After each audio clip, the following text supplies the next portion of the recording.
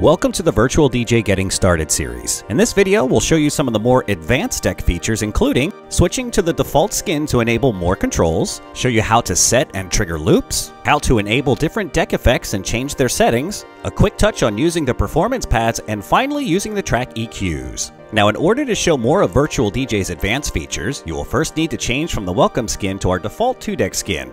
Now to do this, simply click in either deck on the text that says, if you want to see more features, then click here. Now, let's take a closer look at some of these new deck features that are available to us. The box with text is now replaced with three sections, Loop Controls, the Deck's Effect slot, and the performance pads. Now to showcase how these all work, let's first load a track into the deck using the browser. Once we have a track loaded, go ahead and press play. First, let's show you how to loop. To create a loop, simply click on the number in the loop section. Virtual DJ will now loop the audio by the number of beats that's shown. Also, when you create your first loop, a pop-up window will appear and ask if you want to loop forward or backwards. My current preference is to loop backwards, so I will just click OK and close the window.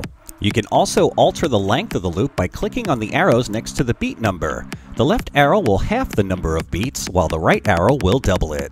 When you are ready to exit the loop, simply click on the beat number again. You can also manually set a loop by pressing the loop in button and the loop out button. To exit the loop, press loop out again. To change loop options like smart loop, quantizing, and others, click on this radio button here. Next to the loop controls is the effect section. To enable an effect, click on the effect name. Now to change the effects parameters, adjust the controls shown below. To disable the effects, click on the effects name again. To change to a different effects, click on the drop-down arrow and select a new effects. To see the effects' full range of settings, click on the plus button and it will show in the side view. You can also undock and pin this window by clicking here and moving it around on your screen. If you want to use multiple effects at the same time, then click on the effects header bar to switch to multi-effects mode and to be able to control three effects all at once. To seamlessly jump around in the track, click on the waveform display in the deck and playback will continue from that point on beat.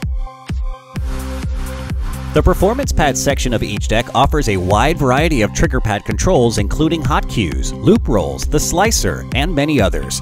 To change to a different bank of trigger controls, click on the drop-down arrow and select a new bank. And finally, Virtual DJ features the classic 3-band equalizer for each deck in the mixer section.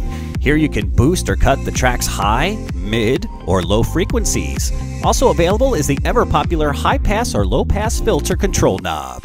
Now that you know where all of the cool and advanced controls are, we invite you to jump in, play around, and get creative.